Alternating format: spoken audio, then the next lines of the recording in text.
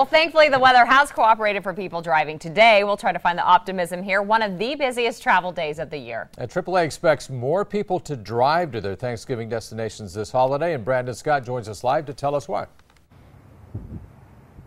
John Mallory, you can thank low crude oil prices and by extension, low gas prices for this year's heavier Thanksgiving traffic. It's about 500 miles, 550 to where we're going tonight. That's quite the schlep. Oh, yeah. Oh, yeah. Lana Rasmussen and her husband Marlon are driving from Aurora, Nebraska to Minnesota to spend Thanksgiving with their children and grandchildren. She does a good job of driving, and, and I can hold down this seat so it doesn't run away. So. The Rasmussens are two of the 42 million people AAA predicts will drive more than 50 miles this Thanksgiving weekend. Traffic is expected to be heavy with so many people out on the roads. I think a lot of them are out here on I 80.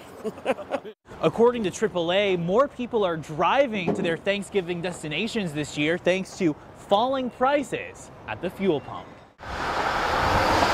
The average national price for a gallon of gas is just $2.05, nearly a dollar cheaper than last year. In Omaha, the average price is even lower, $2.03 with several gas stations charging less than $2 per gallon.